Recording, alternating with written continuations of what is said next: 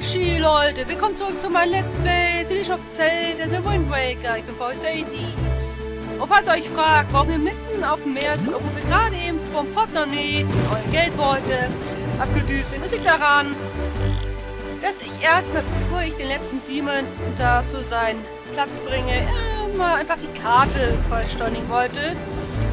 Und ja, und hier erstmal mich dumm und dämlich gesucht habe. Oh, das ist der Riff. Das ist das Meer. Schöne Farbe. Blau wie das Meer. Das ist ein Fienkordial. Oh, wirklich wunderschönes Blau.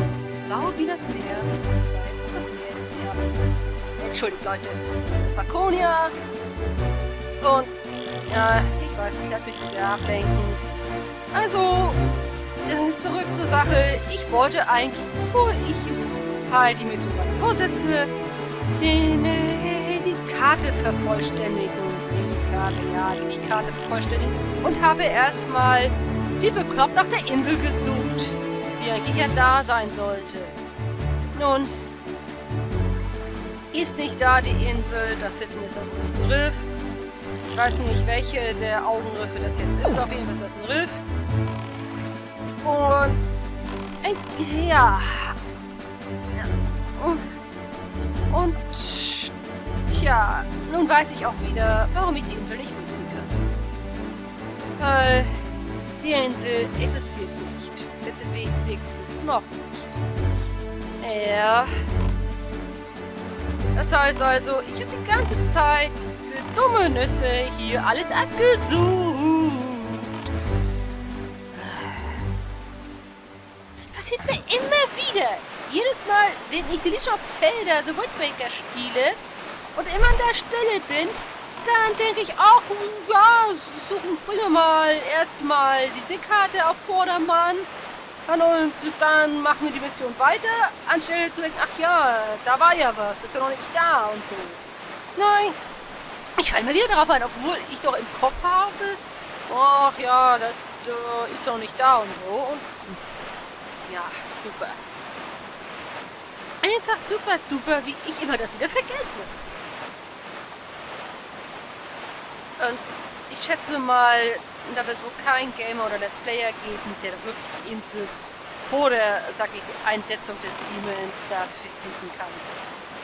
Ihr werdet auch sehen, warum. Ihr könnt es euch auch nur denken.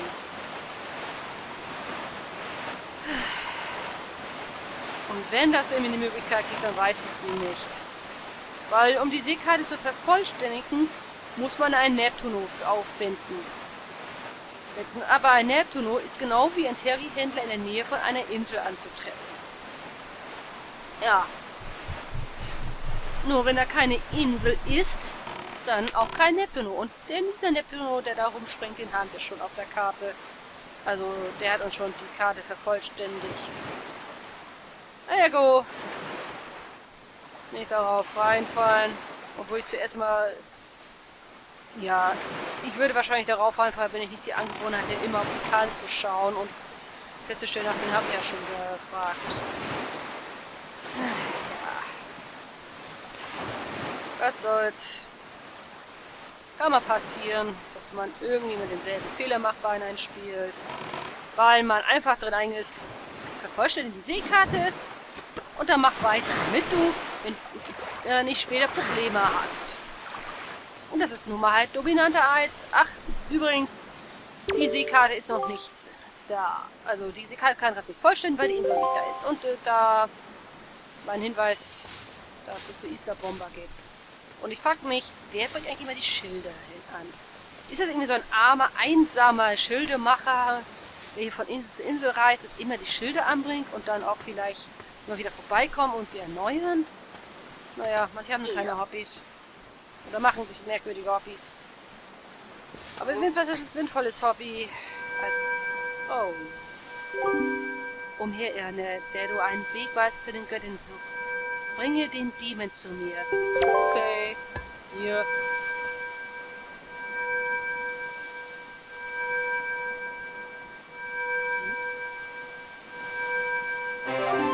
Du hast Ahoes Demon in die Hände der Steingötze gelegt. Sie hat dieselbe Frisur wie Tetra übrigens. Was passiert jetzt?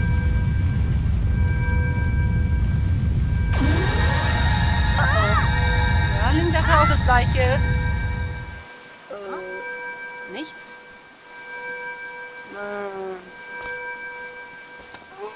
Äh, Link? Geh da nicht hin. Gewarnt.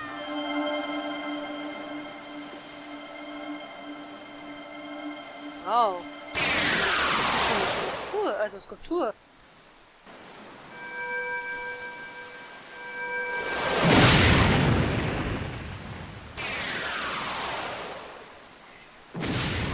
Also die Figur gerade eben, die blaue Nario sah aus wie Zelda aus einer anderen Zelda. Oh, sieh mal an, das Dry Fruits. Tja, Leute, und jetzt seht ihr den Grund, warum man die Seekarte an diesen Orten nicht vervollständigen kann. Weil die Insel ist noch nicht da. Oder genau gesagt, der Turm ist nicht da. Link. Autsch. Sag mal, Link, wäre das langsam so ein Hobby von dir, dass du irgendwo gegenklatscht? Gegen Wände und so? Ja.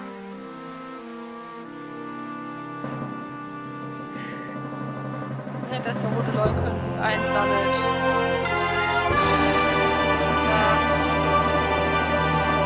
Ziel unserer Reise. Das erste Ziel unserer Reise, genauer gesagt. Dieser Turm, der durch die Kraft der von den Hütern bewahrten Dämonen aus der Versenkung aufgetaucht ist, ist ein Ort, um den Mut der Menschen auf die Probe zu stellen. Erbaut wurde er von Göttern der Vorzeit. Nur wer ihn in auferlegten Prüfungen zu bestehen weiß, wird von den Göttern als Held anerkannt werden und nun wen, dem wird die Ehre zuteil. Ja? Ja? Mach's nicht so spannend! Komm schon, roter Lauernkönig, die Pause ein bisschen zu lang für irgendwie Spannung aufzubauen. Jetzt wird nämlich langweilig. Er muss es wissen. Von der Kraft des Allbösen auszuschmerzen zu können, beseelt zu werden. Link, die Kraft, der du dich würdig erweisen und habhaft machen musst, ist nur noch ein Schritt entfernt. Glaube an deinen Mut, der dich schon so viele Abenteuer hat überstehen lassen, und sei auch in den Prüfungen der Götter erfolgreich.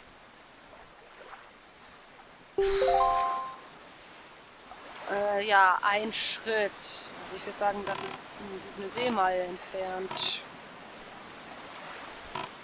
Oh, bevor ich mal reingehe, würde ich erstmal noch den Neptun aufsuchen und die Karte vervollständigen. Bevor ich es nämlich dann wieder vergessen könnte und dann scheiße schreie, weil, äh, ja, da habe ich was vergessen und dann wieder, yay, Decktracking übers Meer. Super. Also, da, wo ist denn der Bild? So, und wie durch ein Wunder ist plötzlich ein Terry-Händler dort.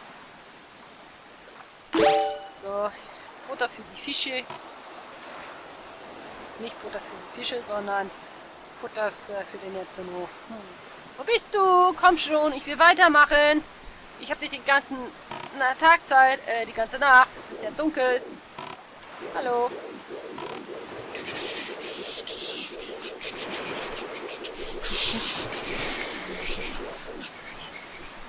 Entschuldigung. Manchmal bin ich echt ziemlich, äh, ja, ihr wisst schon, verrückt. So, komm her. Einmal wieder Synchro vorbehalten. Ja. Okay, ja, die Seekarte. Und steht das übrigens, dass du wirklich die ganze Zeit wie blöd gesucht hast, obwohl die noch nicht da ist? ja, hab ich. Turm der Götter.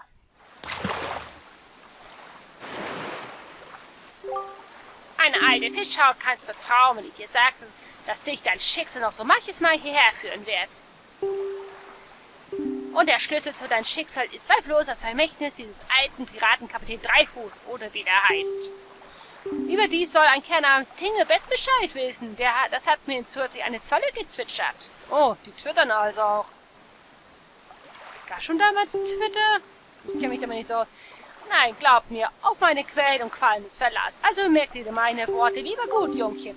Das wär's soweit von mir. Und nochmal, du hast wirklich die ganze Zeit hier alles abgesucht. Jetzt ich denke kein, dass das noch nicht da ist. Hör auf, darauf rumzuhacken.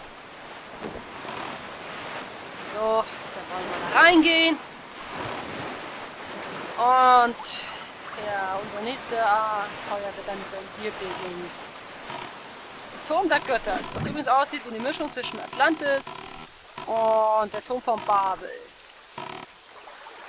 Ja. Nur, dass die Götter da den Menschen wohlgesonnen sind. Wenn ich da gerade nicht durch kann, ich weiß nicht, unsichtbare Wand oder der rote Leuenkönig, sollte man eine Diät machen. Inwiefern ein Schiff Diät machen kann, keine Ahnung. Oh Mann. Oh, Aufwärmklatsch wieder eingesammelt. Tja, Leute. Da wollen wir mal reingehen. Und wir sehen uns im nächsten Part. Das heißt, den Turm der Götter zu besteigen, Leute. Tja. Sia Matane.